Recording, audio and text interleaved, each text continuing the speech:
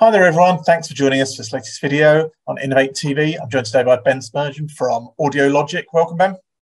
Good to see you as always. Thanks, Ben. Um, today we are going to talk about PoE speakers. Are they here to stay?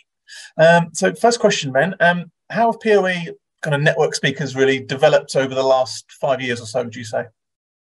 I mean, as its own right within the industry, it's something that's grown so, so significantly over the last few years. I mean, whether it's the options of loudspeakers available or the brands that are actually adopting their own PoE speakers into their line, it's something that we've seen huge growth of over the last few years. I mean, there's new formats coming out. We've got everything from ceiling speakers, pendant speakers, sound bars, all the way up to sort of professional studio monitor type speakers with like Genelec Smart IP. We're just seeing that there's masses and masses of options becoming available, which is great for us because it allows us to specify them pretty much anywhere. Um, and for those that don't know, could you just give a kind of brief explanation of kind of how they work, really, please? Yeah, yeah, of course. Um, so they work in a really, really similar way to active loudspeakers that run off typical 13 amp power. Um, but instead of running off mains power, we're actually using the power off of a network switch here. So the speakers still have an amplifier built inside, but they're using a PoE module to draw power and therefore power the loudspeaker. Because these are on the network already, it means that we can utilize audio over IP standards like Dante AES67 Q-LAN. So we're putting everything down a single cable, single cat cable, uh, and it means yeah, we get pretty much the same, a lot of the benefits of an active loudspeaker, but without the worry of distributing active mains all over the building. Sure, I know. Um, system integrators of old have always liked um, cables and wires and things fixed to walls. Um, this is kind of um, slightly different to that. Um, I just wondered if there are any kind of limitations um, as, as, part of that kind of using um, the internet for power kind of thing. Yeah, so I mean, there's definitely a slightly different way to thinking to traditional. Obviously, we used to low impedance, high impedance speaker lines where we're running long, long distance of uh, traditional speaker cable there's a slight way different way of thinking with your design philosophies. Obviously, we're now running cat cables everywhere, and instead of masses of amplifiers in the racks, we're just using network switches that are providing the power. Um, in terms of limitations, people think that when we're dealing with PoE, we might be limiting the the outputs of the loudspeaker because we're dealing with low amounts of power. But when we're looking at standard PoE, we're looking at up to 15 watts, and with PoE Plus, that's up to 30 watts. So it's still a good amount of power to be playing with. And the actual SPL we're getting out of these speakers is pretty crazy because they're so efficient. I mean, on some of the models we've got, we're achieving over 100 dB SPL at one meter. So it's, it's fairly impressive.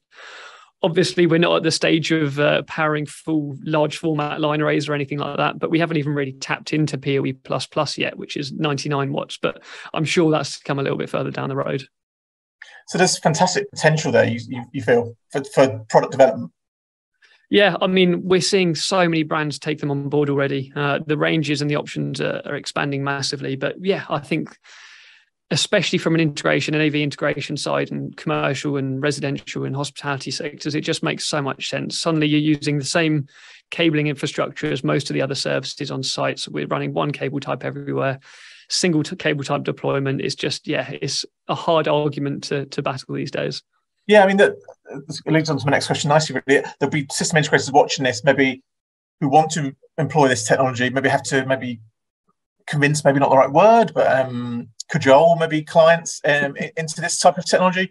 What would yeah. you kind of give to them as a simplified message in terms of the benefits of PoE speakers really I mean, from an integration perspective, definitely the key message is ease of deployment. Single cable per speakers, power controlled audio. That's that's the easy winner. Obviously, that's going to save you time and money on installation. Um, but for the end user, obviously, there's benefits of real time monitoring. So, because these are network speakers, you can see every single device, like any other IT device that's on the network. You can see them, get real time feedback from them, statuses and readouts, and everything like that energy efficiency obviously we're powering everything off of a network switch so we can shut down ports at the end of the day and monitor much more accurately sort of the audio that we're using like with Genelec Smart IP, we've got speakers that turn off after a little while if they're not receiving any audio signals, so we can be more efficient like that. And at the end of the day, we're not really impacting the sound quality of these speakers. We're using a lot of the same components that we are elsewhere. So there's no real drawback to this. Yeah, huge, huge list of benefits there. And um, just finally, uh, how how do you see the the, the market adoption of this technology and um, where do you see it going in the future? I mean, early adopters, obviously the IT industry were were straight on board with this. They didn't have to learn about a new technology and what high impedance and low impedance speaker lines means or anything like that. but even the traditional AV integrators now are coming along to this because it's the cost of these speakers is coming down. I mean, because we're seeing more competition on the market and more formats available, naturally we're going to see a decrease in price over time. So I think accessibility will get much less.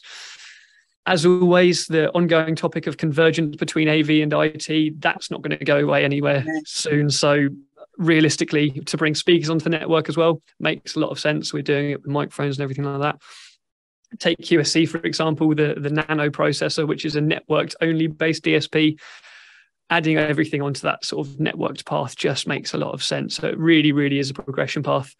I think moving forwards, really, it's just a growth industry now. It's a really exciting thing to be on board with, but the, the real time monitoring and all the other benefits is just a quite a logical choice these days over sort of, sort of traditional loudspeakers, if you will. Yeah, I mean, it just sounds like a natural evolution of, like you said, where we've been going um, with the whole kind of AV over IT piece. And um, Ben, lovely to talk to you. Many thanks for your time. As always, speak to you soon. And many thanks for joining us for this video. And be sure to check out some more on our website. That's all for now. Bye bye.